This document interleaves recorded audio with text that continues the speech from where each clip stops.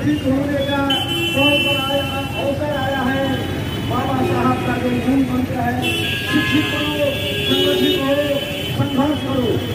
लेकिन आज हम लोग अलग हो गए। संगठनों में आज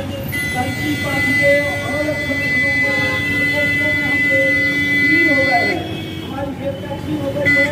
हमें संगठित होने की आवश्यकता है। साथियों, आज भी राजनीति है राजनीतिक संस्थाएँ हैं एक तो हो है हिंदू हो जाता है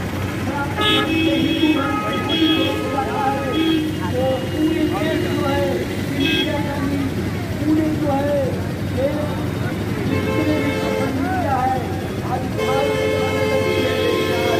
हमारे का मंदिर है उसको किया गया, लेकिन आज सारी धार्मिक संस्थाएँ बनकर मुक्त बनकर जो है देख रही है लेकिन आज तक समाचार पत्र में टीवी चैनल में किसी के बच्चे थे वो नहीं था अब साथियों यह हम लोग के आंदोलन प्रखंड स्तर से लेकर और राज्य स्तर पर जिला स्तर पर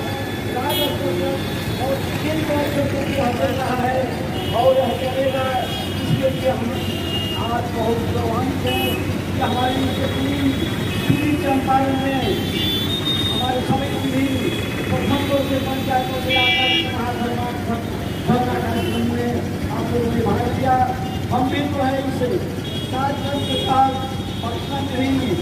हार नहीं कर को हम लोग कर और को हमने निवेदन किया है और पुनः फिर कार्यक्रम जो है अट्ठाईस को पटना के ग्लोबल अंबेडकर सोच संस्थान में हम लोग रखे हुए हैं और वहाँ से हमको